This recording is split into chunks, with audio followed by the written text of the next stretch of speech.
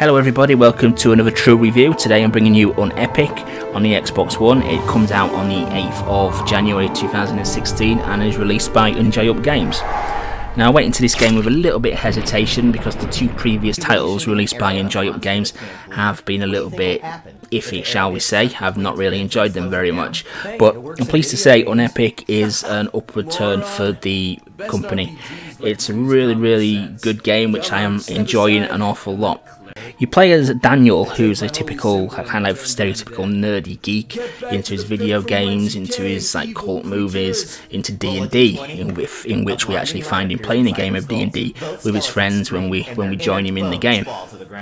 He gets a bit upset about something that happened in the game. The dungeon master sets a trap off on him, and he goes for a timeout. He goes to the bathroom to calm down. But while he's in the bathroom, he, uh, the lights go off, and when he when he manages to exit the room, he finds he's no longer in his friend's house anymore. For some reason, he's in a medieval castle and he quickly bumps into a creature who he nicknames Zera, who tries to possess him and actually kill him, but for some reason, because he's a human, he's actually immune to the possession.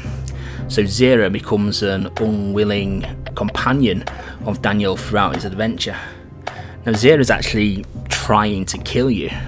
So when he actually offers you words of wisdom, you have to decide if he's telling you the truth or not. Sometimes he is, sometimes he isn't, sometimes he's being misleading, like he'll tell you a weakness of a boss or a, or something a boss is immune against, and then it turns out it might not be uh, or things like saying that this always safe or something and it's not. So it's quite a clever technique throughout the game. You have to make your mind up whether to trust him or not. Now the game plays out like a Metroidvania kind of game, but in a pretty basic way, where instead of killing bosses to acquire new skills and powers, you actually just kill them to get keys to advance to new areas. Now the game's displayed in one of two ways. You can actually view it in a completely zoomed out view, which basically shows everything on the screen. Or you can have a zoomed in view, which will tighten the action into the hero and is more suited to the combat. The zoomed out feature really lets you view the entire screen and plan how you're going to tackle it. I mean, you're normally best to zoom in and use the second view. The zoomed out view does have its advantages though because you can quickly see where you've got to go. It does make combat a little bit difficult though because the characters are probably not even a centimetre high when you're in the zoomed out view. But uh, both views are perfectly playable and both of them do certainly have the uses and probably when you're playing through the game like I am you will use a combination of the two. Now graphically the game is pretty basic. It's each of the characters and the enemies are depicted really, really well, and the boss characters are nicely drawn also. The problem comes with the boss animations. There's not, not an awful lot of animation going on, and the bosses seem to.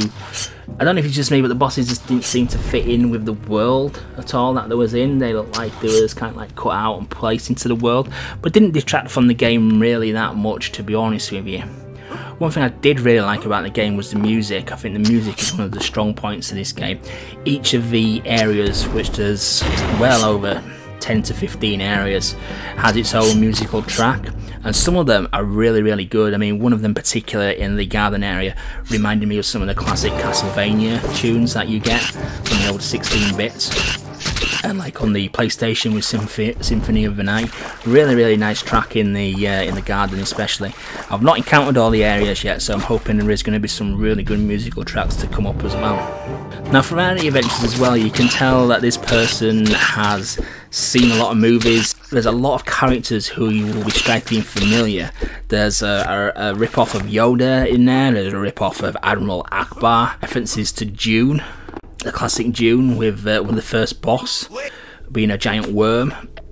And there's also there's also references to even obscure cult Eddie Murphy films like The Golden Child, the bit where he's got to uh, recover the dagger and uh, use a glass of water to figure out how to get the dagger, and even some of the quotes saying that the chosen one's got a skinny ass or something like that. It's, it's, it's all in there. There's an awful lot of cult references. So if you've been around a bit, uh, like I have, like since the 80s, you've seen a lot of movies and stuff, you'll you'll pick up on the references and actually really appreciate them.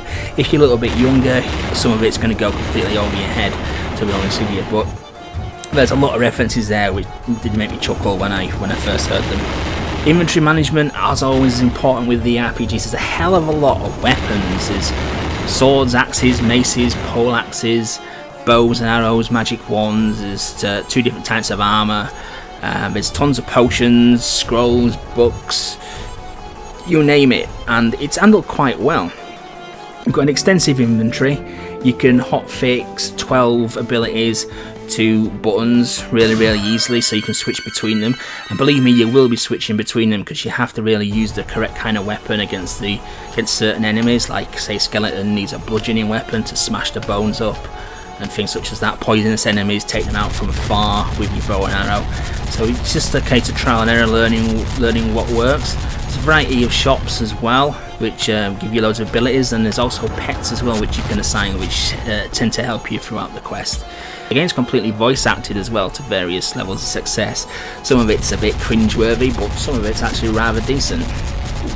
Achievement wise, it's going to be, I'd, uh, I say, based on my initial playing of the game, it's going to be a reasonable thousand points with a bit of a challenge.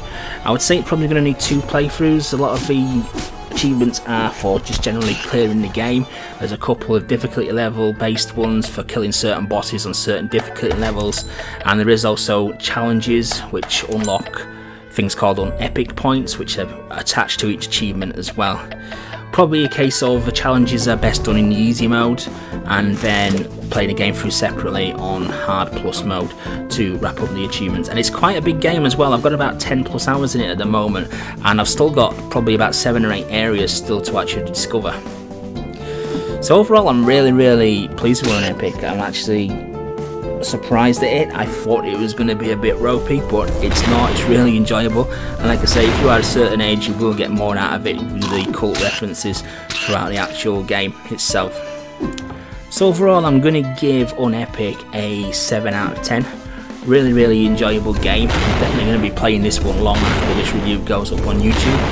And I suggest it's definitely worth checking out as well for the for the price that they're asking for it. I mean, it's under £10 and it's definitely going to get your money's worth out of it. You're probably looking at your two playthroughs, you're probably looking at at least a 20 hour plus game there. So I hope you enjoyed that review guys. Please remember to like, comment and subscribe and if you do want to follow me on my various social media pages that does help me build the channel and get these reviews to you as quickly as possible.